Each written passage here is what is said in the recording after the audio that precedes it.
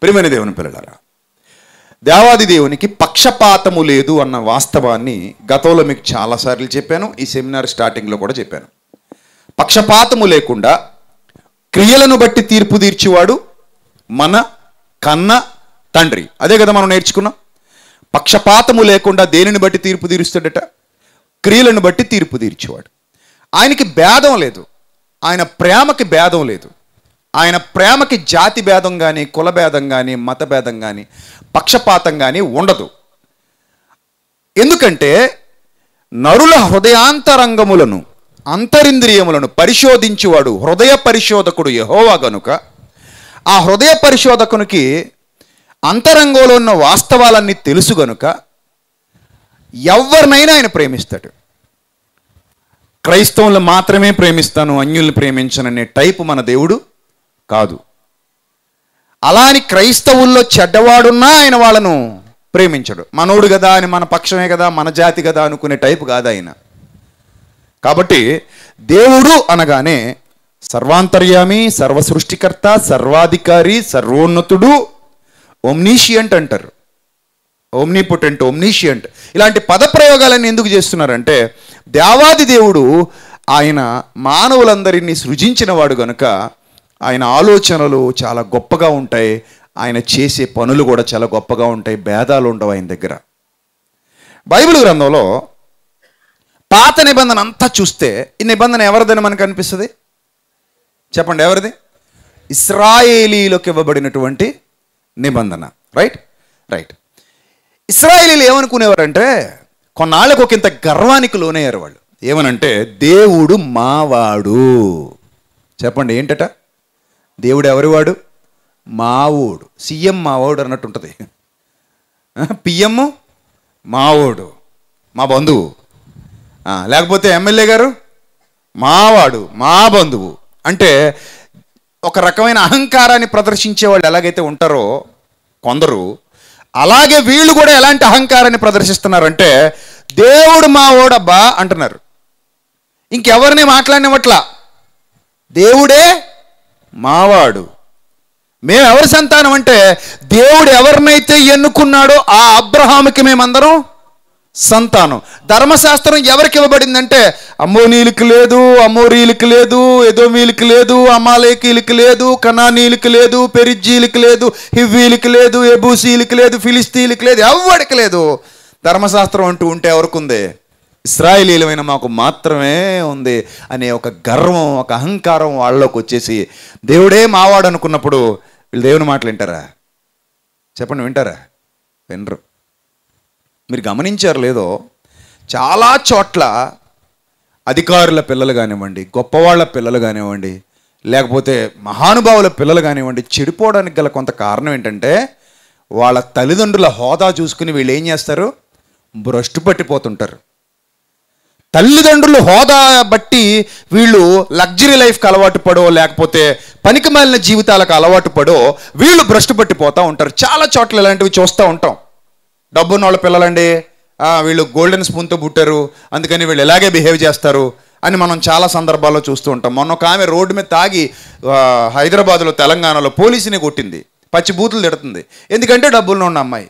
Pub నుంచి వస్తుందట నా కారు నువ్వు ఎందుకు ఆపావని చెప్పి గొడవ చేస్తుంది. సో ఇలా చాలామంది ఉంటారు. ఎందుకంటే వాళ్ళ వాళ్ళని చూసుకుని వీళ్ళు ఉంటుంటారు. అంతెందుకు? ఏలీ కుమారులు. ఏమయ్యారట? బాగున్నారా? చెడిపోయారా? బాగున్నారా? చెడిపోయారా? చెడిపోయారు. ఏలి యాజకుడు ఏలి కుమారులు ఎంత భ్రష్టు పట్టిపోవాలో అంతా భ్రష్టు పట్టిపోయారు. ఎందుకంటే ఏలి బోధ ప్రజలు వింటారేమో కానీ వీళ్ళు వినేలా లేరు. ఎందుకంటే తండ్రి కదా లోకం అయిపోయాడు పిల్లలకి తండ్రి చాలా చోట్ల పిల్లలకి తండ్రి ఎలా ఉంటాడు? లోకుగా కనబడుతుంటాడు మా నాన్నే కదా పర్లేదులే అనుకుంటుంటారు కొంతమంది. అది ఎందుకంటే కొందరు తండ్రులు గారం పెడుతుంటారు కదా. అలా గారం పెట్టిన ప్రతిసారే మా నాన్నే కదా పర్లేదులే ఏం చేసినా పర్లేదు అన్నట్టు వాళ్ళు ఇష్టం వచ్చినట్టుగా వాళ్ళ కార్యక్రమాలు వాళ్ళు చేసుకుంటుంటారు. అంత ఎందుకండి సమూహలు గొప్ప ప్రవక్త. అవునా కదా? గొప్ప ప్రవక్త. మరి వాళ్ళ పిల్లలు? వాళ్ళ పిల్లలు? నీ పిల్లలు నీ వంటి వారు కారన్నారు ఇస్రాయలీలే. అవును నీ పిల్లలు నీ వంటి వారు కారు వాళ్ళకి నీలాంటి మనసు లేదు నీలాంటి భక్తి లేదు నీలాంటి భక్తి జీవితం నీ పిల్లల్లో లేదు. సమూహలు గొప్ప ప్రవక్త కానీ సమూహలు పిల్లలు గొప్పగా లేరు. అంతెందుకు? దావీదు అద్భుతమైన ప్రవక్త మహానుభావుడు. దేవుని మనసు ఎరిగినవాడు దేవుని చిత్తమంతయు ఎరిగినవాడు. మరి దావిది గారి పిల్లలు? దావిది గారి పిల్లల చరిత్ర చూడండి ఏమైపోయారు?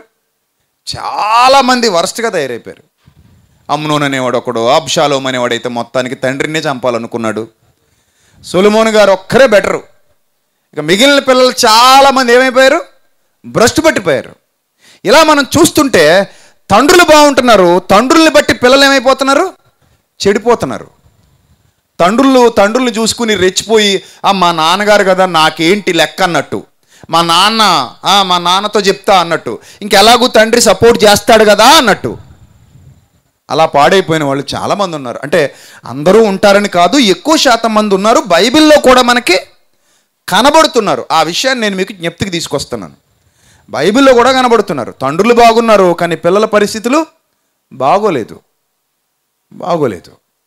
అలాగే ఇస్రాయేలీలు కూడా దేవుడు మా నాన్న అని విర్రవేగటం మొదలెట్టారు. ఎక్కడ చూడండి దేవుడు మా నాన్న. మేము ఎవరి పిల్లలం? దేవుని పిల్లలం. మిగిలిన వాళ్ళందరూ దయ్యం పిల్లలు. దేవుడు ఎవరి సొత్తు? మా సొత్తు. మరి మిగిలిన జనాంగాలన్నిటికీ దేవుడి సొత్తు?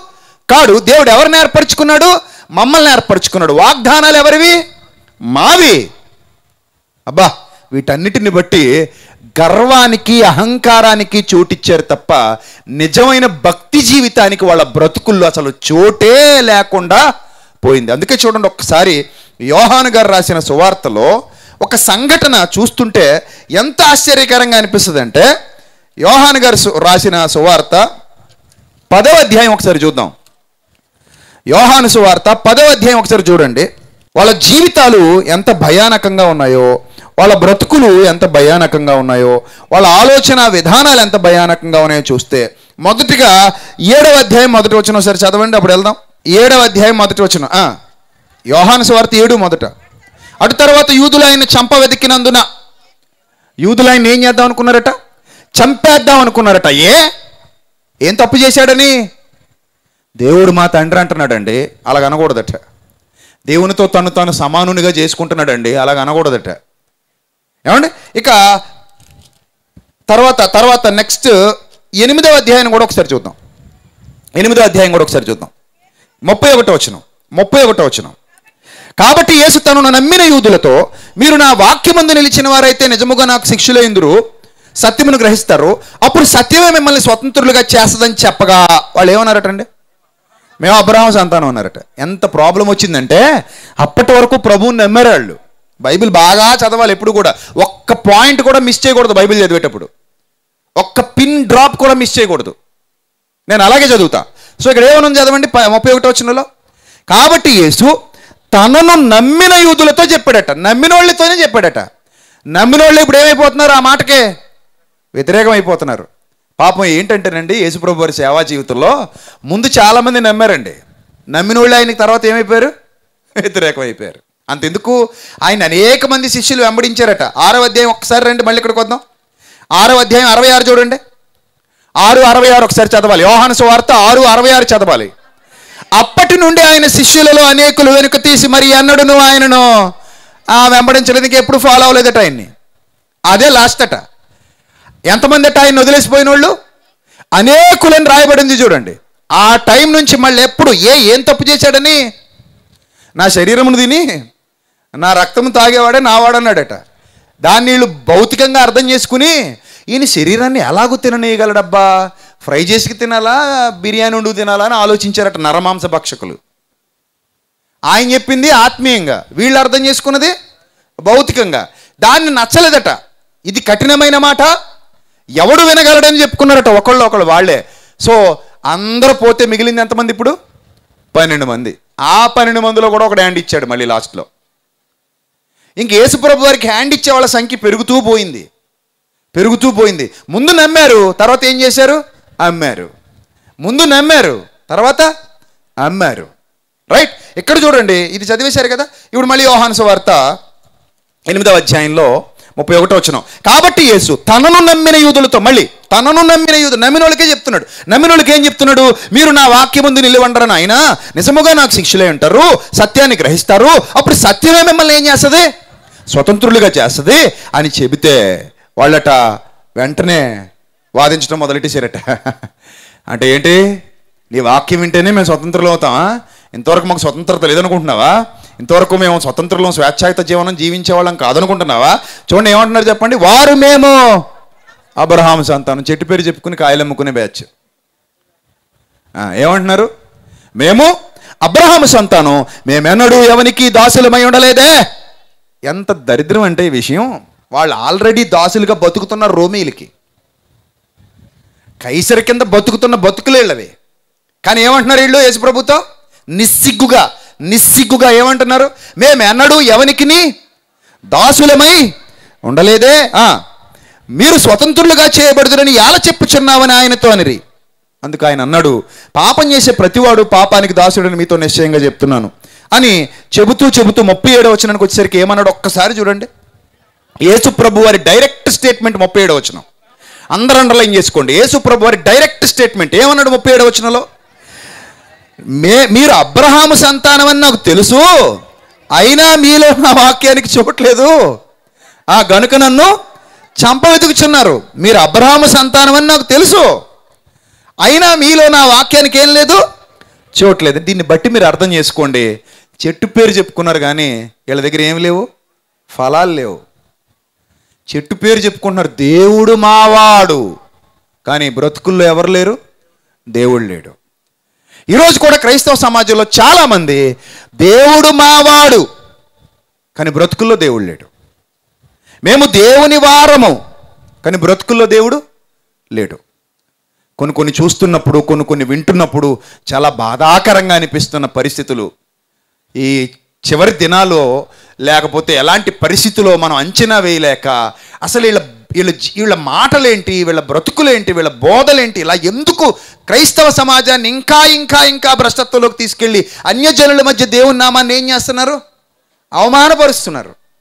ఈ ఈరోజు ఒక ఒక వీడియో చూశానండి. అసలు ఎంత బాధేసిందంటే ఆ వీడియో. ఇందాక అన్నయ్య గారితో అదే పంచుకుంటున్నాను. ఒక బోధకుడు మాట్లాడుతూ అంటున్నాడు ఆడవాళ్ళు ఎవరు ఒంటరిగా నా దగ్గర రాకండి నేను మగాడిని నేను తట్టుకోలేను ఏమైనా చేస్తే బాధపడతారు అంటున్నాడు. అసలు అసలు అసలు మనం క్రైస్తవ్యంలోనే ఉన్నావా అనిపించింది. ఆడవాళ్ళు నా దగ్గరికి ఒంటరిగా రాకండి నేను మగాడిని అంటున్నాడు. ఫేస్బుక్లో తిరుగుతుంది చూడండి పేరు చెప్పడం కూడా నాకు ఇష్టం లేదు ఇంకా. నేను మగాడిని ఏమైనా చేస్తే చేస్తాను నేను మగాడిని అంటున్నాడు. ఏమనాలి అసలు? ఒకళ్ళు ఎవడైనా మళ్ళీ నా గురించి మాట్లాడితే చిత్తకొట్టండి అని చెప్తున్నాడు వాళ్ళ అనుచరులకి. ఏమనాలి? ఎటుపోతుంది మన సమాజం? అంటే దేవుడు ఆయన భావాలు ఆయన మాటలు ఆయన ఆలోచనలు ఏవి లేకుండా రోజు రోజుకి రోజు రోజుకి దుష్టుడు మనుషుల్ని ఏం చేస్తున్నాడు? తన వైపు ఆకర్షించుకుని లాక్కుంటూ వెళ్ళిపోతున్నాడు. మారు మనస్సు పొందండి అన్న క్రీస్తు బోధ ఎక్కడా? నాకు మారు మనసు ఉండదు నేను ఇలాగే ఉంటా అనేటువంటి దుష్టుడి బోధ ఎక్కడ? రెండు బోధలకి ఎంత వ్యత్యాసం ఉందో మీరు ఆలోచించండి. ఇక్కడ ఇక్కడ వీళ్ళు కూడా అలాగే ఉన్నారు. దేవుని పిల్లలం మేమని గర్వం ఒకటి తప్ప బ్రతుకులో మాత్రం ఎవరు లేరు? దేవుడు లేడు. అందుకే ప్రభు చాలా డైరెక్ట్గా మాట్లాడారు. ఆయనకి ఎక్కడ భయం లేదు. అందుకే ఆయనకు పేరుందట. ఏం పేరు? మోమాటము లేని బోధకుడవయ్యా నువ్వు. నువ్వు ఎవనిని? లక్ష్య పెట్టని వాడవు. ఎవరిని లక్ష్య పెట్టని వాడవు మోమాటము లేని బోధకుడువు? అన్నాడు. అలాంటి మోమాటము లేని బోధ యేసుప్రభు వారు చేస్తూ డైరెక్ట్ ఆ యూదులతో అనేవారు సున్నం కొట్టిన సమాధుల్లారా? అబ్రహాం పేరు చెప్పుకు బతికేస్తున్నారు మీరు. అసలు అబ్రహాము క్రియలు మీ బతుకుల్లో ఎక్కడా లేవు. చూడండి అక్కడ ఏమంటాడు? చూడండి అక్కడ ఏమంటున్నాడు? నేను నా తండ్రి వద్ద చూచిన సంగతులే బోధిస్తున్నాను ఆ ప్రకారమే మీరు మీ తండ్రి వద్ద విని వాటిని జరిగిస్తున్నారని వారితో చెప్పిన అందుకు వారు అంటున్నారట. ముప్పై తొమ్మిది వచ్చిన ఆయనతో మా తండ్రి అబ్రహాం అన్నారట. ఏమన్నారట? మా తండ్రి అబ్రహాము. అనగానే ఆయన వెంటనే రిప్లై ఏంటి చూడండి. మీరు నిజంగా అబ్రహాం పిల్లలైతే అబ్రహాము చేసిన క్రియలు చేతురు దేవుని వలన మీ వినిన సత్యం మీతో చెప్పిన వాడనైనా నన్ను మీరు ఇప్పుడు చంపవెదుకుచున్నారే అబ్రహాం అలాంటి క్యారెక్టర్ కలిగిన వాడు కాదు. మీ నాన్న క్యారెక్టర్ మీ దగ్గర లేదు. మీ నాన్న పేరు చెప్పు బతుకుతున్నారు అంతే మీరు. మీ నాన్న పేరు చెప్పు బతుకుతున్నారు తప్ప మీ నాన్న క్యారెక్టర్ లేదు మీ దగ్గర. మీరు మీ తండ్రి క్రియలే చేయించున్నారని వెళ్ళి అన్నాడు. ఇంతకిందాక నుంచి తండ్రి తండ్రి అంటున్నావు. ఎవరు బాబు మా తండ్రి? మా తండ్రి అబ్రహాం అంటే ఆయన అన్నాడు కదా చివరికి. వాళ్ళు అంటారు కదా మేము వ్యభిచారం వల్ల పుట్టిన వాళ్ళం కాదు. దేవుడు ఒక్కడే మా తండ్రి అని చెప్పగా. అప్పుడు ప్రభు అన్నారు మీ తండ్రి అపవాది. వాడి దురాశలు మీరు నెరవేర్చకోరుచున్నారు అంటే మీరు అబ్రహాం సంతానమా అపవాది సంతానమా? ఎవరి సంతానం మీరు? అన్నాడు వాళ్ళని. మీరు అబ్రహాం సంతానం అన్నాడా అపవాది సంతానం అన్నాడా? మీరు అబ్రహాం సంతానం కాదురా నాయన మీరు ఎవరట మీరు? అపవాది సంతానం రా నాయన మీరు అన్నాడు. అప్పుడండి నేను మత్తేసు వార్త పదో అధ్యాయంలో ఇప్పటికీ చాలామంది మత ఉన్మాదంతో రగిలిపోయే వాళ్ళు ఏమంటారంటే మత్తేసు వార్త పదో అధ్యాయంలో మీ యేసుక్రీస్తు నేను అన్యజనుల దగ్గరికి రాలేదన్నాడు ఇస్రాయేలీలో నశించిన గొర్రెల యొద్దకే వచ్చానన్నాడు. సో కాబట్టి వాళ్ళకే తప్ప మాకు సంబంధం లేదు. వాళ్ళకి సంబంధించిన వ్యక్తిని తీసుకొచ్చి మా దగ్గర ఎందుకు ప్రకటిస్తారని అడిగిన వాళ్ళు కూడా లేకపోలేదు. మొదట అక్కడ అర్థమైంది ఏంటి? మొదట వాళ్ళ యొద్దకు పంపబడ్డాడు. వాళ్ళు ఏం చేశారు? తృణీకరించారు. ఇల్లు కట్టువారు తృణీకరించిన రాయి మూలకు తల రాయి ఆయను. సో మొదట వాళ్ళ దగ్గరికే పంపబడ్డాడు కానీ వాళ్ళు తృణీకరించారు. అంటే దాని అర్థం ఏంటంటే ముందు నీకు అన్నం పెట్టడానికి వచ్చాను. నువ్వేమన్నావు? కాలుతో దన్నావు పళ్ళన్ని. ఏం చేస్తాను అప్పుడు? ఆహా నీకు అంత అలా ఉంటే నీకెందుకు పెడతా అని చెప్పి బయట ఎవడో కనబడితే అడిగి పెట్టేశా. అప్పుడు నేను పక్కకు తోసేశా. అప్పుడు వాడే నా కుమారుడు అనిపించుకున్నాడు. దాన్ని బట్టి ఇస్రాయేలీలంటే దేవుడికి ఏదో పిచ్చుందని ఇస్రాయేలీలు మాత్రమే దేవుని పిల్లలని మిగిలిన అన్యజనులు ఎవరు దేవుని పిల్లలు కాదని వాళ్ళని మనం దూరం పెట్టాలని అనుకోవటం చాలా మూర్ఖత్వం. దేవుడికి పక్షపాతం లేదు. దేవుడికి జాతి భేదం లేదు. దేవుడికి ర- వర్ణ భేదం రంగు భేదం లేకపోతే కుల భేదం మత భేదం ప్రాంతీయ భేదం ఉన్నవాడు కాడు. ఆయన అందరినీ ఏకరీతిగా నిర్మించినవాడు అందరినీ ఏకరీతిగా ప్రేమిస్తున్నాడు. కానీ వీళ్ళు ఏమనుకుంటున్నారంటే దేవుడు మావాడే కదా అన్న మొండి ధైర్యంతో ఉన్నారు. మొండి ధైర్యం. ఎక్కడ లేని మొండి ధైర్యం వచ్చేసింది. ఆ మొండి ధైర్యమే పాపానికి నడిపించింది. ఆ మొండి ధైర్యంతోనే పాపపు క్రియలు చేయడానికి బయలుదేరారు. ఆ మొండి ధైర్యంతోనే దుష్ట కార్యాలు చేయడానికి బయలుదేరారు. దుర్నీతి కార్యాలు చేయడానికి బయలుదేరారు. చివరికి యేసు ప్రభువునే చంపాలనేంత దుస్థితికి దిగజారిపోయారు. అలాంటి టైంలోనే ప్రభు వీళ్ళకి బుద్ధి చెప్పాలి కాబట్టి ఎలాంటి బాధ చేశాడు తెలుసా? కంపారిజన్. ఎవరితో కంపేర్ చేశాడు? ఎవరినైతే వాళ్ళు వెలివేశారో ఎవరినైతే వాళ్ళు అంటరాని వాళ్ళు అన్నారో ఎవరినైతే మేము ముట్టుకో అన్నారో ఎవరితో అయితే మేము భోజనం కూడా చెయ్యమన్నారో ఎవరినైతే మా ఇళ్ళలోకి రానివ్వమన్నారో వాళ్ళని వాళ్ళందరినీ పొగుడుతూ వీళ్ళకి కోటింగ్ ఇచ్చేసేవాడు. అలా యేసు ప్రభు వారి వెతుకులాటలో దేవుని పిల్లలుగా పిలువబడుతున్న వాళ్ళందరూ యూదులు. ఆ దేవుని పిల్లలుగా పిలువబడుతున్న వాళ్ళందరి మధ్యలో ఆయన పరిచర్య జరుగుతోంది. ఆ పరిచర్య జరుగుతున్నటువంటి వెతుకులాటలో యేసు ప్రభువుని మెప్పించింది ఎవరంటే యూదులు కాదు. మరి ఎవరు మెప్పించారు? అన్యులు మెప్పించారు. అది అది బైబిల్లో జరిగిన అద్భుతం. ఇప్పటికీ చాలామందికి అర్థం కాక యేసు ప్రభుని ఇస్రాయేల్ దేవుడు ఇజ్రాయేల్ దేవుడు అంటున్నారు. తెలియక ఆయన ఆయన బ్రతుకున్న కాలంలోనే భూమి మీద సంచరిస్తున్న కాలంలోనే ఎలా వాళ్ళకి గడ్డి పెట్టాడు అనేది మనం చూస్తే మీరు అపవాది పిల్లలు మీరు అబ్రహాం సంతానం కాదు. అబ్రహాం సంతానం అయితే అబ్రహాం లాంటి క్రియలు చేసేవారు మీరు. మీరు చెట్టు పేరు చెప్పుకుని కాయలు అమ్ముకుంటున్నారు కానీ అలాంటి ఫలాలు మీ బతుకుల్లో లేవు. మీరు ఎక్కడా కూడా అబ్రహాము లాంటి వాళ్ళు అలాంటి విశ్వాసం కలిగిన వాళ్ళు కాదు అని చెబుతూ ఎవరిని గొప్ప చేశాడంటే అన్యుల్ని గొప్ప చేశాడు ప్రియులారా మీరు గమనించాలి ఆ విషయాన్ని. అక్కడి నుంచి ఆయన పని ప్రారంభమైపోయింది. మొదట పంపబడింది వారి యొద్దకే కానీ వారు తృణీకరించారు రక్షణను తృణీకరించారు. వద్దనుకున్నారు వాళ్ళు రక్షణని. మాకు అవసరం లేదనుకున్నారు వాళ్ళు. ఎందుకు? అప్పటికే వాళ్ళకి గర్వం వచ్చేసింది. గుర్తుపెట్టుకోండి నాశనమునకు ముందు గర్వము నడుచును. నాశనమునకు ముందు ఏమి నడుస్తుంది? గర్వం నడుస్తుంది. మీలో కూడా చాలా మందికి రక్షణ పొందేశాం కదా సన్నిధికి వచ్చేస్తున్నాం కదా సంఘంలో ఉన్నాం కదా పాటలు పాడుతున్నాం కదా మాకేంటి అనే గర్వం ఉండి తప్పులు చేసేవాళ్ళు కూడా చాలా మంది ఉన్నారు. ఉన్నారా లేదా? చాలా మంది ఉన్నారు. ఏ గర్వం అంటే రక్షణ గర్వం అది. ఏ గర్వం? రక్షణ గర్వం. అందుకే మేము ధన్యులమండి వారు అన్యులండి. అబ్బా! నువ్వు ధన్యుడివా? వాళ్ళు అన్యులా? దేవుడికి ఎవరికి వాళ్ళనే స్కాన్ చేసి స్కానింగ్ మిషన్ ఉంటుంది. ఎయిర్పోర్ట్కి వెళ్తే ఎప్పటికప్పుడు స్కాన్ చేస్తాడో చేయడా? మొల్లో మొన్న ఎవడో నాలుగు సూది పిన్లు ఎట్టుకొచ్చాడు ఇంతంత ఉన్నాయి. మరి ఆడికి ఎందుకో తెలియదు సూది పిన్లు స్కానర్లోకి వెళ్ళగానే అరుస్తుందా అరదా స్కాన్ చేస్తాడు కదా. చేయగానే ఏంద్రనాయన బయట తీయండి సూది పిన్లు ఏ అంటే ఉంటాయండి ఎప్పుడు మొలతాడు కట్టు తిరుగుతాను అంటున్నాడు నువ్వు మొలతాడు కట్టు తిరిగితే బయట తిరిగానే తీసి బయటపడే అన్నాడు. అంటే స్కానింగ్. దేవుడు కూడా మనిషి హృదయాన్ని ఎప్పటికప్పుడు ఏం చేస్తాడు? స్కాన్ చేస్తాడు. ఆ స్కానింగ్లో నువ్వు ధన్యుడివా అన్యుడివా బాప్తిస్మం పొందినోడివా సంఘానికి వచ్చేవాడివా విశ్వాసివా బోధకుడివా అవేవి నీ నీ క్వాలిఫికేషన్ చూసి నీకు ఓట్లేసేవాడు కాదు ఆయన. మీ నాన్నగారిని చూసో మీ తాతగారిని చూసో ఇక్కడున్న జమీందారు గారు మా తాతగారండి ఆ నాలుగు వందల ఎకరాలు మావేనండి అన్నావు అనుకో నువ్వు. దేవుడేమంటాడు? ఆరు నాయన మీ నాలుగు వందల ఎకరాలు అయితే నా భూమండలం మొత్తం నాదిరా నాయన బయటికి పోరా అంటాడు. ఆకాశం నా సింహాసనం భూమి నా పాదపీఠం. నీ గొప్పతనాన్ని ఆయన చూడటం నీ హృదయాన్ని చూస్తాడు. గొప్ప గొప్ప వాళ్ళందరూ కానుకలేస్తుంటే ఎవరినైనా పొగిడాడు యేసుక్రీస్తు? మరి ఎవరిని పొగిడాడు? రెండు కాసులు వేసిన భేద విధవరాలు పొగిడాడు. ఎందుకు? జీవనమంతా ఇచ్చేసింది. అది విన్నాకనే నాకు పాట రాయాలనిపించింది భేద విధవరాల పాట. అది చదివాకనే అసలు ఈమెను గూర్చి ఒకసారి రెండుసార్లు కాదు పాట రూపంలో చెప్తే నిత్యం పాడుకుంటుంటారు కదా అని పాట రాసి ఇచ్చాను మీకు. భేద విధవరాలు ప్రేమ ఎంత గొప్పదనేది కాబట్టి ప్రభు ఎప్పుడు కూడా వాళ్ళ వాళ్ళ యొక్క క్వాలిఫికేషన్స్ వాళ్ళ యొక్క అర్హతలు వాళ్ళ యొక్క గొప్పతనం వాళ్ళకున్న డబ్బు వాళ్ళకున్న పేరు ప్రఖ్యాతులు వాళ్ళకున్న వాళ్ళ నాన్నగారు వాళ్ళ వాళ్ళ తాతగారు ఇవేవి పట్టించుకోడు. నీలో ఆత్మీయత లేకపోతే నీలో యథార్థత లేకపోతే నువ్వు ఆయన కుమారుడిగా లేకపోతే నువ్వు ఆయన కుమార్తెగా లేకపోతే నీకు నీలో ఆయనకు లోబడే గుణం లేకపోతే ఆయన నిన్ను పక్కన పెట్టేస్తాడు. ఇక్కడ ఇస్రాయలీలు అన్నాళ్ళు కూడా దేవుడు మా అబ్రహాం అబ్రహాం అబ్రహాం అబ్రహాం అని అబ్రహాం పేరు చెప్పు బతికేశారు. అబ్రహాం పేరు చెప్పు బతికేశారు.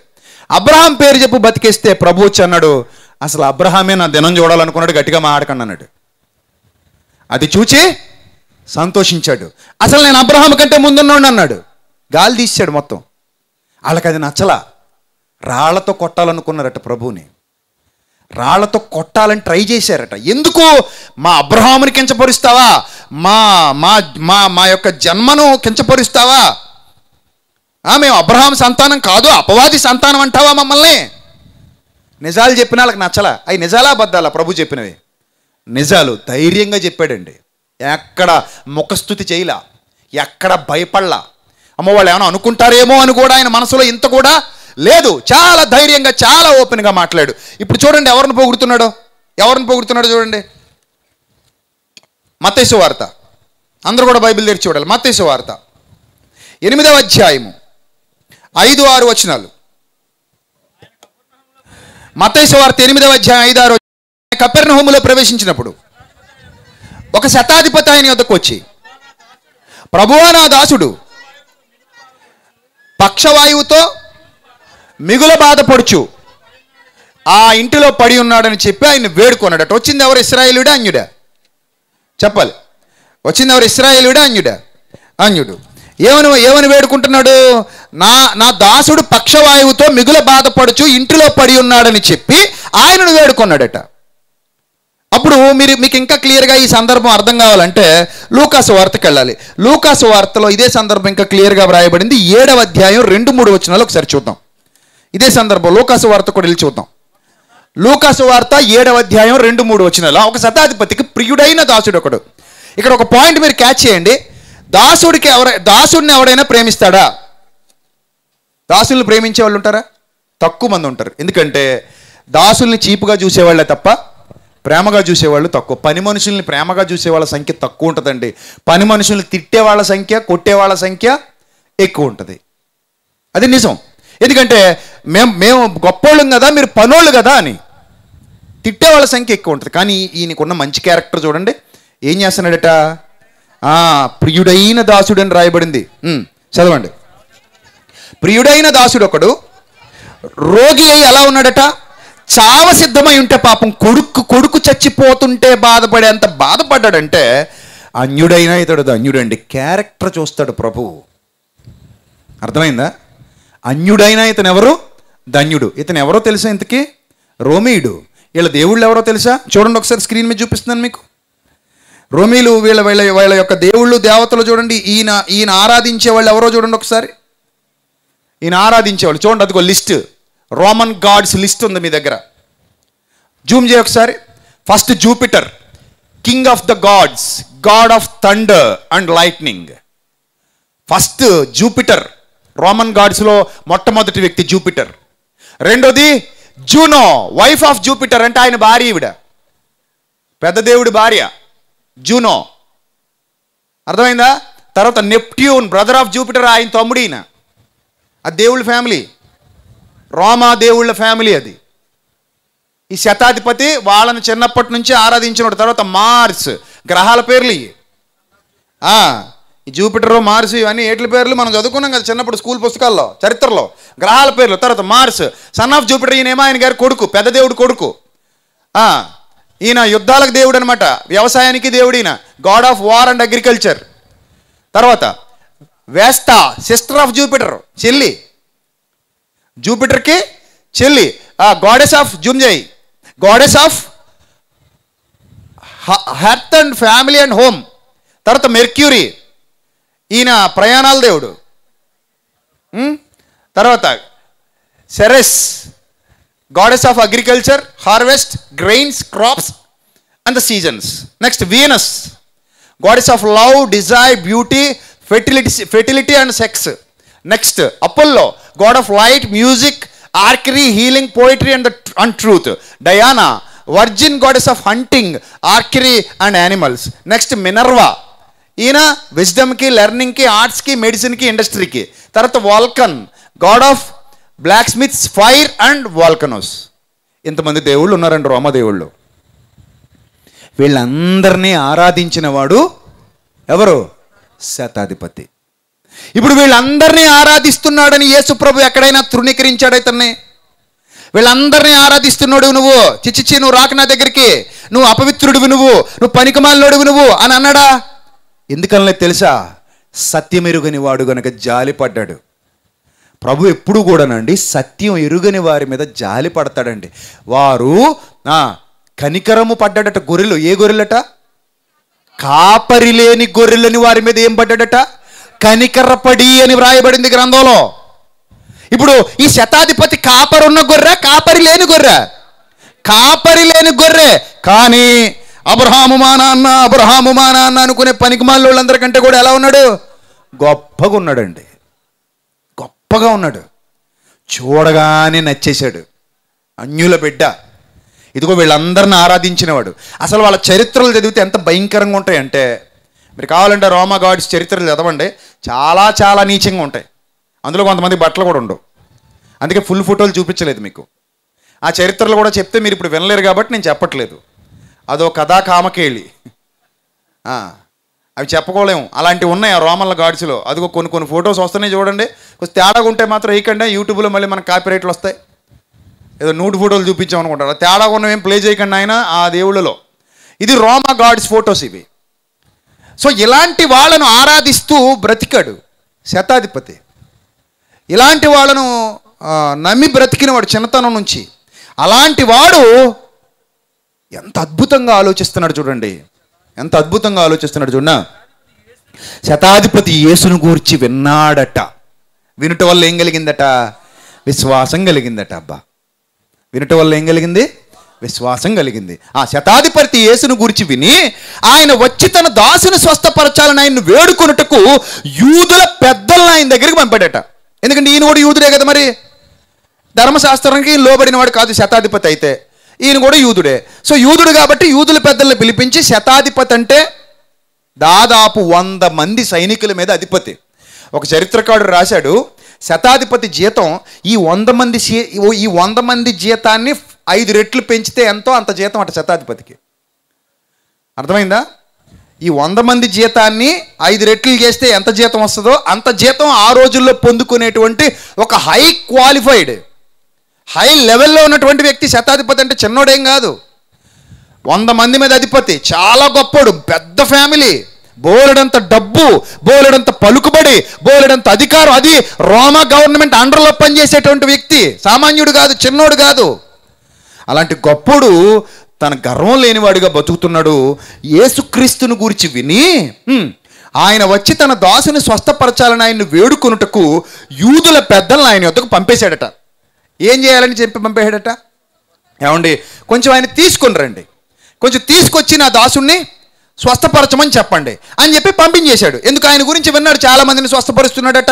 ఎక్కడికి వెళ్ళిన స్వస్థతలు అద్భుతాలు మహత్కార్యాలు సూచక్రియలు ఆయన ద్వారా ఘనంగా జరుగుతున్నాయట. ఆయన చాలా గొప్పవాడట అని ఆయన గురించి విని ఆ పంపించేశాడు. పంపించేస్తే ఏం జరిగిందో చూడండి. వాళ్ళు వచ్చారు మన దగ్గర ప్రభు దగ్గరకు వచ్చారు. ఆ వారు యేసునద్దకు వచ్చి నీ వలన ఈ మేలు పొందుటకు అతడు యోగ్యుడు. ఏ వీళ్ళ సిఫార్సులు చూడండి మళ్ళీ. వచ్చిన వాళ్ళు ఎవరు? యూదులు. వీళ్ళకి దేవుడు అంటే ప్రభు అంటే ఇష్టమా? ఇష్టమా? ప్రభు మీద పేకల దాకా కక్షతో ఉన్నారు వీళ్ళు. ఏడో వచ్చిన ఏడో అధ్యాయం మొదటి వచ్చిన యోహాను స్వార్తలో ఏం చదువుకున్నాం మనం? యోహాను స్వార్త ఏడు ఒకటిలో ఏం చదువుకున్నాం? చంపాలని ఆలోచిస్తున్న క్యాండిడేట్లు ఎందుకు వచ్చారు వీళ్ళు? శతాధిపతి కబురంపించాడు కాబట్టి అవసరం మూలన వచ్చారు. లేకపోతే రారు వీళ్ళు. అమ్మ దొంగలు. అందితే జుట్టు అందకపోతే కాళ్ళు. అబ్బా. అప్పటివరకు ఏమన్నా రాళ్ళతో కొట్టాలనుకున్నారు. నేను మేము అబ్రహాం సంతానం నువ్వు దయ్యం పట్టినోడు అన్నారు. నువ్వు సాతాను అన్నారు. నువ్వు అపవాది వలన బయల్జిబూలు వలన అధికారం పొంది కార్యాలన్నీ చేస్తున్నావు అన్నారు. అలాంటి వాళ్ళు అవసరం రాగానే వచ్చి అంటున్నారట ఏమంటున్నారట? నీ వలన ఈ మేలు పొందుటకు అతడు యోగ్యుడు. అతడు మన జనులకు మన అమ్మ కల్పించుకున్నారు చూడండి. ఎవడైనా గొప్పడైతే మనోడు అంటాం. మనోడు ఎవడైనా గొప్పోడు అవ్వాలనుకుంటుంటే లాగెత్తుంటాం గొప్పోడైన అందరిని ఏమంటాం? మనోడు మనోడు మనోడే. గొప్పోడు అయితే సరే కలిపేసుకోవటం ఇంకా. వీళ్ళు ఏమన్నారంటే మన మన జనుల నీ వలన మేలు పొందుటకు అతడు యోగ్యుడు. అతడు మన జనులను ప్రేమించి మనకు సమాజ మందిరము తానే కట్టించిన ఆయనతో చెప్పి మిక్కిలి బతిమాలుకొన్నారట. సమాజ మందిరం ఒక అన్యుడు కట్టించాడు. బాగా అర్థం చేసుకోండి. తన దేవుడు కాని దేవుడికి ఒక అన్యుడు ఏం కట్టించాడట? ఆహా ఆ రోజుల్లో మత సామరస్యం వెళ్ళి విరిచిందండి. మరి ఇప్పుడు ప్రభు దాన్ని తప్పు పెట్టాడా? మీరైతే ఏం చేస్తారు? తప్పు పడతారు. పడతారా పట్టరా? అన్యులను రానివ్వకూడదండి. వాళ్ళని వేదిక ఎక్కించకూడదండి. వాళ్ళని ఎందుకు పిలుస్తున్నారండి? మరి వాళ్ళ పరిపాలన చేస్తే పరిపాలించుకోవచ్చా అండి? ఎంతకాలం బతుకుతాం? అలా ఎంతకాలం ఈ మూఢత్వపు ఆలోచనలు? అసలు ప్రేమ అనే దాన్ని చంపేసుకుని బతుకుతున్నాం మనం. సాటి మనిషి నిన్ను వల్లే అందులో ఏమైనా ఉన్నాయా? Rules regulations. నీ పొరుగువాడంటే ఎవరని అడిగితే చెప్పాడు. నీ పొరుగువాడంటే ఎవడంటే కూడా చెప్పేశాడు. అయినా మనకి ఇంకా అర్థమై చావాలా? నిన్ను వలే నీ పొరుగువాడిని ప్రేమించన్నాడు అని అంతే. అది మంచోడా చెడ్డోడా మనోడా కాదా మన జాత కాదా మనుట్లా కాదా ఏ ఉట్లు? ఇవేవి లేవు అక్కడ. కానీ మనం ఇంకా ఇంకా ఏదో జాడ్యం మనల్ని వెంటాడుతుందంటే బైబిల్ మనకు అర్థమైంది అనుకోవాలా అర్థం కాలేదనుకోవాలా చెప్పండి ఏమనుకోవాలి? మీకు విషయం చెప్పనా? నేను జాన్వెసిలి గారిని ఎందుకు ప్రేమించి ఈరోజు ఇక్కడ కూర్చోబెట్టానో తెలుసా? చాలామందికి మేము ఇద్దరు ఇలా కూర్చోవడం కూడా ఇష్టం లేదు. ఏదో కుళ్ళు ఉంటుంది కదా. ఆయన ఎందుకు ఇక్కడ కూర్చోబెట్టాను తెలుసా? ఆయనలో ఉన్న హంబుల్నెస్ ఒక్కటి దానికి నేను పడిపోయాను అంతే. ఆ తగ్గింపు స్వభావానికి నేను ఎంత ఇష్టపడ్డానంటే ఆయన్ని మా సొంత అన్నయ్యలాగా ఎందుకు? ఆయనలో ఉన్న హంబుల్నెస్ ఆ తగ్గింపు.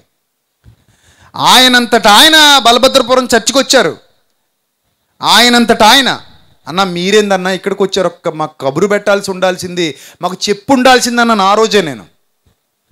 లేదు తమ్ముడు లేదు నిన్ను చూడాలనిపించింది వచ్చేసాను అన్నారు సో ఆ- డౌన్ టు ఎత్ ఆయన మనసు కానీ ఆయన ఆలోచన విధానం కానీ అది నాకు నచ్చి సాధారణంగా నేను అంత తొందరగా ఎవరితో కనెక్ట్ అవ్వను. కనెక్ట్ అయ్యానంటే ప్రాణం ఇచ్చేస్తాను. మీకు తెలుసా విషయం? అలా ఆయన ఆయనలోని ఆ హంబుల్నెస్ ఏదైతే ఉందో ఆ హంబుల్నెస్ నచ్చబట్టి ఈరోజు నేను ఆయన బతిమిలాడి మరీ ఇక్కడికి రప్పించాను. నేనే ఆయన దగ్గరికి వెళ్ళి అన్నా మీరు రావాలి తప్పదు. లేదు తమ్ముడు ఆ టైంలో నేను పిల్లలతో గడపాలి. గత ఇరవై సంవత్సరాల నుంచి ఇదే జరుగుతుందంటే లేదన్నా ఇంకా అసలు అలా అనొద్దు నేను అడిగాను కాబట్టి మీరు వచ్చేయాలి. ప్లీజ్ అని చెప్తే ఇంక సరే ఇంకా అలా వచ్చేస్తానైతే కన్ఫర్మ్ అన్నారు. ముందు ఒక రోజు అన్నారు తర్వాత ఆయన మనసుకి ఇంకా ఇంకా నచ్చి రెండు రోజులు వచ్చేసారు. మళ్ళీ వస్తారు ఆయన డేట్ చెప్పను. రాబోయే రాబోయే నాలుగు రోజుల్లో ఒక రోజు వస్తారు? ఆ రోజు ఎప్పుడు ఆ రోజే చెప్తాను. ఎందుకు ఆ రోజు చెప్తానంటే చాలామంది ఫోన్ చేసి అడుగుతున్నారు ఏమంటే గారు ఎప్పుడు వస్తారండి? అంటే ఆ రోజు వద్దామని. అని మిగిలిన రోజు రారనమాట సో అలాంటి హంబుల్నెస్. మనం ప్రేమకు కట్టుబడిపోయాం అనుకోండి ఆ ప్రేమతో ఆటోమేటిక్ ఏమైపోతాం? ఎక్కడున్న ఆ ప్రేమకి ఏమైపోతాం? కనెక్ట్ అయిపోతాం. కనెక్ట్ అయిపోతాం. ఆ ప్రేమ మనలో ఉన్నప్పుడు అన్యుడా ఇంకొకడా ఇంకో మినిస్ట్రీయా మన మినిస్ట్రీయా మనవాళ్ళ మన కులమా మన బంధువా మన మతమా ఇవే ఉండవు. యేసుప్రభుకి అది ఉంటే శతాధిపతి గురించి ఇలా మాట్లాడతాడా? లేదండి ఆయనకి. మనకెందుకండి? మన ప్రభుకే లేనప్పుడు మనకెందుకండి ఆ జబ్బు? ఇప్పుడు మనం నాయకులు పిలిచాం వాళ్ళు వస్తారు. వచ్చి మనం చెప్పే నాలుగు మాటలు వింటారు. చాలదా మనకది? ఏదో కార్యకర్తలు చాలామంది వచ్చారు. కూర్చున్నారు. ఇప్పుడు నేను చెప్పే బోధ వాళ్ళు వింటున్నారు. ఏ తప్ప ఇదేమైనా? దీనికి కూడా నొచ్చుకునే వాళ్ళు ఉన్నారంటే క్రైస్తవ సమాజంలో మూఢత్వానికి చోటిస్తున్నారు. ప్రేమకు చోటు లేదు వాళ్ళ మధ్యలో. ప్రేమకు చోటు లేదు. ప్రేమకు హద్దులు ఉండకూడదు ఎల్లలు ఉండకూడదు. ప్రేమిస్తూ పోవడమే. ప్రేమిస్తూ పోవడమే. యేసు ప్రభు వారి క్యారెక్టర్ మీకు అర్థమైతే మీరు మీ మనసుని ఈ రాత్రే మార్చుకుంటారు. మనలో ఉన్న జాడ్యాన్ని మనం ఏం చేసుకుంటాం? వదిలించుకుంటాం. చూద్దాం ఒకసారి. వాళ్ళు అన్నారు బతిమాలుకున్నట్టు కావున యేసు వారితో కూడా వెళ్ళిపోయాడట. యేసు వారితో కూడా వెళ్ళిపోతుంటే ఈలోగా శతాధిపతిలో ఏదో తెలియని పశ్చాత్తాపం మొదలైంది. ఏం పశ్చాత్తాపమో తెలుసా? నేను చాలా తప్పు చేశానేమో. అహంకారంతో శతాధిపతిని అన్న గర్వంతో ఆయన రమ్మని పిలిచానేమో. అలా చేయకుండా ఉండాల్సింది. నేను ఆయన రమ్మనం ఏంటి? నా ఇంటికి రమ్మనం ఏంటి? అంటే నా ఇంటికి రమ్మన్నానంటే ఆ టైంలో నాలో ఏదో తెలియని అహంకారం ఉందన్నమాట. ఓ నేను శతాధిపతిని కదా అని ఫీల్ అయి ఉంటాను. నా నేను ఒకరిని పొమ్మంటే పోవును రమ్మంటే వచ్చును. ఆ గర్వం నాలో ఉండుంటుంది. కానీ కాసేపటికి రియలైజ్ అయిపోయాడు. నిజమే రియలైజేషన్ ఎప్పుడు వస్తుందో ఎవరికి వస్తుందో ఎలా వస్తుందో తెలీదు. వచ్చింది రియలైజేషన్ ఆ రియలైజేషన్ వచ్చి ఏమంటారు ఏమన్నాడు చూడండి వెంటనే వెంటనే ఏమని చూడండి ఏమన్నాడు చూడండి? ఆయన ఇంటి దగ్గరకు వచ్చినప్పుడు శతాధిపతిని స్నేహితులను చూచి మీరు ఆయన యొక్కకు అర్జెంటుకి వెళ్ళండి స్నేహితులారా. వాళ్ళు అంజులే వాళ్ళు అంజులే మొత్తం ఫ్యామిలీ అంతా అంజుజనుల ఫ్యామిలీ ఇది. మీరు అర్జెంటుగా ఆయన దగ్గరికి వెళ్ళండి. ఆ వెళ్ళి. ప్రభువా శ్రమ పుచ్చుకొనవద్దు ప్రభువా. ఆహా ఒక అన్యుడు ఒక రోమియుడు ఆయన ఏమని పిలుస్తున్నాడు? ప్రభువా ఏ యేసు అని పిలవచ్చుగా? పిలవడు. మరి ఈ దౌర్భాగ్యులు ఏమని పిలుస్తున్నారు? ధర్మశాస్త్రం ఎరిగిన వారు? ధర్మశాస్త్రం ఎరిగిన వారు దెయ్యం పట్టినోడు అంటున్నారు. వీళ్ళకి ధర్మశాస్త్రం తెలుసు ప్రవక్తల బోధ తెలుసు యేసు ప్రభు వారి గురించిన ప్రవచనాలు చదువుకున్నారు. అన్నీ తెలుసు కానీ ఏమంటున్నారు? యేసు ప్రభు వారిని అర్థం చేసుకోలేరు కానీ ఒక అన్యుడు అర్థం చేసుకున్నాడండి. ఏమంటున్నాడు? యేసు అనలేదండి. మరి ఏమన్నాడు? ప్రభువా శ్రమ పుచ్చుకొనవద్దు. నీవు నా ఇంటిలోనికి వచ్చుటకు నేను పాత్రుడను. కానో. నిజంగా శతాధిపతి కానీ ఈరోజు ఇక్కడ ఉండుంటే ఆయన కాళ్ళు పట్టుకుని నేను నేను నా చేతులతో ఆయన కాళ్ళు కడిగి నెత్తిని చల్లుకునేవాడినండి అండి. అలాంటి క్యారెక్టర్ అండి ఇది. అన్యుడే కానీ ధన్యుడు. వాళ్ళు ధన్యులు అనుకుంటున్నా భయంకరులు అన్యులు. వాళ్ళు నిజమైన అన్యులు. ఎవరు? యూదులు. యూదులు భయంకరులు. ధర్మశాస్త్రం ఎరిగిన అన్యులు వాళ్ళు. కానీ ధర్మశాస్త్రం ఎరుగని ధన్యుడు. రోమపత్రికలు ఎలాంటి వాళ్ళ గురించే వ్రాయబడింది? వాళ్ళ మనస్సాక్షే వాళ్ళకి ధర్మశాస్త్రం అన్నాడు పౌలు గారు. రోమపత్రిక రెండో అధ్యాయంలో చెప్తాడు. వాళ్ళ మనస్సాక్షే ధర్మశాస్త్రమైనట్టు చూపుతున్నారు. ఆ మనసు చూస్తాడండి. ప్రభు ఎప్పుడు కూడా మనిషిని కాదు చూసేది. ఎవరిని చూస్తాడు? మనసు చూస్తాడు. మీరు తృణీకరిస్తారేమో. ఈడు మనోడు కాదు ఈడు మనోడు కాదని ఆయన తృణీకరించడు. ఆ హంబుల్ని సాయంలో నచ్చేసిందంటే ప్రభుకి తీసుకొచ్చి నెత్తి మీద పెట్టేసుకుంటాడు. అంత ప్రేమిస్తాడు ప్రభు. చూడండి ఇప్పుడు ఏం జరిగిందో నేను ముగించేస్తాను ఇంకా. శ్రమ పుచ్చుకొనవద్దు. నీవు నా ఇంటిలోకి వచ్చుటకు నేను పాత్రుడను. కాను నాకు ఆ అర్హత లేదయ్యా బాబు. నిన్ను మా ఇంట్లోకి తీసుకెళ్ళేంత అర్హత నాకు లేదు. లేదు. నెక్స్ట్. అందుచేత నీ వద్దకు వచ్చుటకు పాత్రుడనని నేను ఎంచుకోలేదు. స్నేహితుల్ని ఎందుకు పంపించాడో కూడా చెప్తున్నాడు. మళ్ళీ పొగరనుకుంటాడేమో. స్నేహితుల్ని పంపించానంటే పొగరనుకుంటాడేమో. అసలు ఇంటికి రమ్మన్నప్పుడే పొగరనుకున్నాడేమో. రమ్మని తప్పు చేశాను. ఇప్పుడైనా సరిదిద్దుకోవాలి. లోపలికి రావడానికి నేను అర్హుని కాదు. అలాగా నేను వెళ్ళి నువ్వు రావద్దని చెప్పడానికి కూడా అర్హుని కాదు. అబ్బా అబ్బా అబ్బా ఏం తగ్గింపండి అయింది ఏం తగ్గింపండి? సెల్యూట్ చేయాలి ఆయనకి. నేను నీ దగ్గరికి రావడానికి అర్హుణ్ణి కాదు. నువ్వు నా దగ్గరికి రావడానికి నేను అర్హుణ్ణి. కాదు నువ్వు అక్కడే ఉండాలయ్యా. నువ్వు అక్కడే ఉండాలి. ఏమంటున్నాడు చూడండి? అయితే మాట మాత్రము సెలవిమ్ము.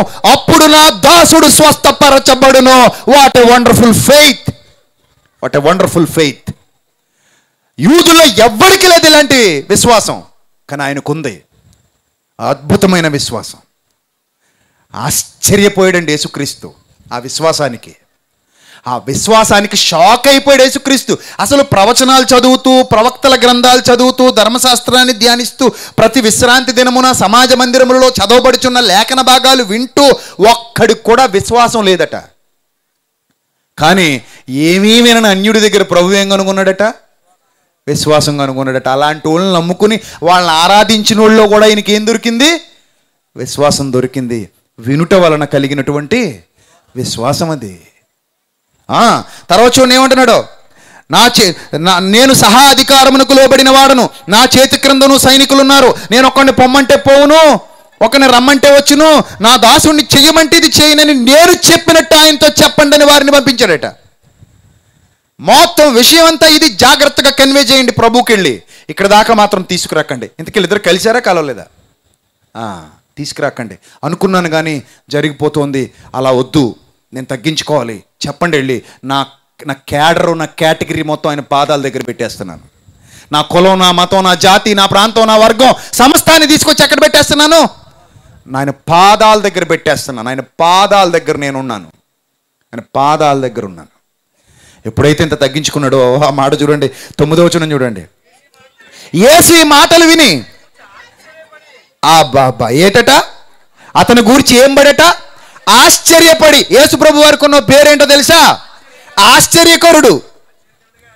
ఆ? పేరేంటండి? ఆశ్చర్యకరుడు. ఆశ్చర్యకరుడికే ఆశ్చర్యం పుట్టించేసిన మహానుభావుడు శతాధిపతి. చూడండి. ఆశ్చర్యకరుడికి ఏం కలిగించాడట? ఆశ్చర్యం కలిగించాడట అంటే ఎంత గొప్పోడు చూడండి. ఎంత గొప్పోడు అండి. అన్యుడు. ఆశ్చర్యకరుడే ఆశ్చర్యపోయేంత గొప్ప విశ్వాసం ఈయనలో ఉంది. అలాంటి ఆశ్చర్యకరుడు ఆ, ఏమంటున్నాడు ఇప్పుడు? నే- అప్పుడు ప్రభు అన్నాడు తన వెంట వస్తున్న మొత్తం యూదుల బ్యాచ్ అందరినీ తీసుకొచ్చి ముందు పెట్టాడు. ఆ యూదుల బ్యాచ్ అందరిని చూస్తూ జనసమూహం అంతటిని చూస్తూ అంటున్నాడు ఇజ్రాయేల్ ప్రజలలోనైనను ఇంత గొప్ప విశ్వాసం నేను చూడలేదని మీతో చెప్పుచున్నా నన్ను. పంపబడిన వారి ఇంటికి తిరిగి వచ్చి ఆ దాసుడు స్వస్థు స్వస్థుడై ఉండుట కనుగొనిరి. ఇప్పుడైనా ఈ విషయాన్ని మీరు అర్థం చేసుకోవడానికి ట్రై చేయండి. ఏం అర్థం చేసుకోవడానికి ట్రై చేయాలంటే గర్వం అహంకారం వగైరా వగైరా ఏమైనా మీ దగ్గర ఉంటే మడిచి జేబులో పెట్టేసుకోండి. నేను రక్షణ పొందా నాది పలానా సంఘం నేను పలానా దేవుని కుమారుణ్ణి నన్ను మించినోడు లేడు నేను అంత గొప్పోడిని నేను ఎంత గొప్పోడిని అనే భావజాలం మీ దగ్గర ఉంటే ఈ రోజే తీసి అవతల పడేయ్. ఏది మనకి ఉత్తమమైనదంటే అలాంటి శతాధిపతి లాంటి విశ్వాసాన్ని మెయింటైన్ చేయి. శతాధిపతి ఏ విశ్వాసాన్ని అయితే కలిగి ఉన్నాడో శతాధిపతి ఏ విశ్వాసంతో అయితే ప్రభువును మెప్పించాడో శతాధిపతి ఏ విశ్వాసంతో అయితే ప్రభువును గణపరిచాడో శతాధిపతి ప్రభువుని ఏ విశ్వాసంతో అయితే ఆశ్చర్యపరిచాడో అలాంటి ఆశ్చర్యపరిచే విశ్వాసాన్ని మెయింటైన్ చేసినప్పుడు నీకు కూడా మనుషులు మనుషుల్లా కనబడతారు. మనుషులందరూ దేవుని పిల్లల్లా కనబడతారు. ఆయన మంచివారి మీద చెడ్డవారి మీద తన సూర్యుని ఉదయింపజేస్తున్నాడు. నీతిమంతుల మీద నీతిమంతుల మీద కూడా తన వర్షాన్ని కురిపింపజేస్తున్నాడు. ఎక్కడా కూడా ఆయన ప్రేమలో కించిత్ కించిత్ కూడా స్వార్థం లేదు. మంచోడు ఎక్కడ దొరికినా తెచ్చుకుంటాడు ఆయన. అర్థమైందా? ఆయనకి జాతి భేదం లేదు కుల భేదం లేదు వర్గ భేదం లేదు ప్రాంతీయ భేదం లేదు దేశ భేదం లేదు భాషా భేదం లేదు ఏ భేదము లేదు. మంచోడు ఎక్కడ దొరికినా తెచ్చుకుంటాడు ఆయన. తెచ్చుకుని నీకంటే గొప్పోడని నీ ముందే నిలబెడతాడు. సిగ్గుపడిపోయే రోజు వస్తుంది జాగ్రత్త. గుర్తుపెట్టుకో. సిగ్గు సిగ్గు పడిపోయే రోజు వస్తుంది. నేనేదో దేవుని కుమారుణ్ణి నేను సంఘంలో సభ్యుణ్ణి నేను రక్షణ పొందేశాను నన్ను మించిన లేడని నువ్వు ఆయనకు వ్యతిరేకంగా ఒకళ్ళు బ్రతకడానికి ట్రై చేస్తే శతాధిపతి కానీ దొరికేశాడు అనుకోండి. ఇలాంటి వేదిక మీదకి ఆయన కూడా తీసుకొచ్చి ఏమంటాడు ఆయన? చెప్పేమంటాడు మీలో ఎవరిలో కూడా ఇతనుకున్న విశ్వాసం లేదంటాడు. ఏమైపోవాలి అప్పుడు? సిగ్గుపడిపోవాలి. ఇస్రాయేల్లో నేను ఎవరిని చూడాల? రోమీలో చూశాను. అన్యుల్లో చూశాను అని చెప్తున్నాడు. సో యేసుప్రభు వారి బోధ అంత మోమాటము లేని బోధ. ఈరోజు చాలామంది అన్యుల్ని కించపరిచి మాట్లాడతారు అన్యుల్ని అవమానపరిచి మాట్లాడతారు అన్యుల గురించి చులకనగా మాట్లాడతారు. వాళ్ళు వేరు మేము వేరనే భావజాలాన్ని ప్రదర్శిస్తారు. అబ్బో వాళ్ళ ఇంటికి మేము వెళ్ళవండి వాళ్ళు పెట్టిన తినవండి వాళ్ళని పట్టించుకోవండి వాళ్ళని రానివ్వండి వాళ్ళు అలాగండి వీళ్ళు ఎలాగండి ఏం గొప్పతనం ఉందని నీ దగ్గర? ఆనాడు ఇస్రాయేల్కున్న గర్వం కనబడుతుంది నీ దగ్గర. ఏది? ప్రేమ ఏది? అవునా కాదా? చెప్పు అవునా కాదా? అవును కదా? కాబట్టి ఎప్పుడు అలాంటి దౌర్భాగ్యకరమైన పరిస్థితికి మనం చోటు ఇవ్వకూడదు. మనం చదువుతున్నామంటే ఇస్రాయేలీలు చేసిన తప్పు మనం చేయడానికి వీలు లేదు. We're all one first we're all Indians మనమంతా ఎవరు? భారతీయులు. భారతీయత భారతీయతకున్న అసలైన అర్థం ఏంటో తెలుసా? భారతీయతకున్న అసలైన అర్థం. మేధావులు గొప్పవాళ్ళు ఆ ఇండియన్ ఫ్లాగ్ని డిజైన్ చేసిన వాళ్ళతో సహా ప్రతి ఒక్కరూ ఆలోచించింది ఏంటంటే భిన్నత్వంలో ఏకత్వం. We're all one we're all one flesh అన్నట్టు. మనమంతా భారతీయులం.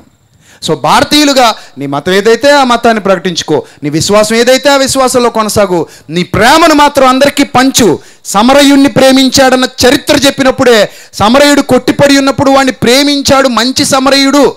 కొట్టిపడి ఉన్నవాడిని ప్రేమించాడు మంచి సమరయుడు అన్న చరిత్ర చెప్పినప్పుడే నీకు ప్రభు మనసు అర్థమైపోవాలి. ప్రభు ఒకరి వాడు కాదు. ప్రభు ఒక జాతికి చెందినవాడు కాదు. చాలామంది మూర్ఖులు మాడుతూ కులం తక్కువ దేవుడండి అని పనికి మాలిన మాటలు మాట్లాడుతుంటారు. అసలు ఆయన కులంతో పోల్చుకుంటే మన కులం కులమా? ఆయన జాతితో పోల్చుకుంటే మన జాతో జాత. ఏంటి? ఏంటి గొప్ప? ఆయనలో ఉన్న కులం ఏ కులమో తెలుసా? ఆయనకున్న గొప్ప కులం ఏంటో తెలుసా?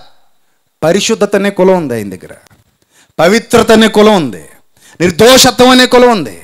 నిష్కల్మషత్వం అనే కులం ఉంది. జాలి దయ కరుణ ప్రేమ పాపులలో చేరక ప్రత్యేకంగా ఉన్న ఏకైక వ్యక్తి అనే బిరుదుంది ఇప్పటి వరకు దాన్ని బీటౌట్ చేసినాడు ప్రపంచంలో ఎవరు లేడు. ప్రపంచంలో ఎవరు లేడు. అలాంటి వండర్ఫుల్ రికార్డ్స్ క్రియేట్ చేసి అందరినీ ప్రేమించండి అని మనకి చెప్తే మనమేంటి? మీరు వేరు మేము వేరు అందామా? అందామా? అంటారా? అనరు కదా? సెట్ అయిపోండి. మీరు మీతో పాటు అనేకులు ఏం చేయండి? సెట్ చేయండి. అంతే తప్ప మీరు వేరు మేము వేరు. మా ఇంటికి మీరు రాకండి మీ ఇంటికి మేము రాము. మాది ప్రత్యేకం మీ పెళ్ళిళ్ళకి రాము మీ దినాలకు రాము పనికిమాలిన కబుర్లు మాత్రం ఎక్కడ? చెప్పకండి. ప్రేమతో వెళ్ళండి ప్రేమించండి ప్రేమతో దగ్గర ఉండి ప్రేమను పంచండి ప్రేమగా ఉండండి. అదే మనకు ప్రభు నేర్పించాడు. అలాంటి ధన్యకరమైన స్థితిలో మీరు అందరూ ఉండాలని మనస్ఫూర్తిగా కోరుకుంటున్న మాటలు ముగిస్తున్నాను. పెద్దలు మన మధ్యలోకి వచ్చారు.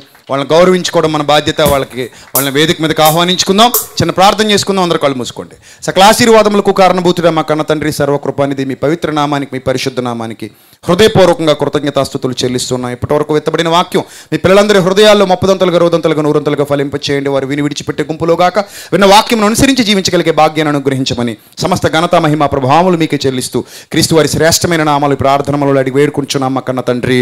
Amen. God bless you all love you all. Thank you thank you so much.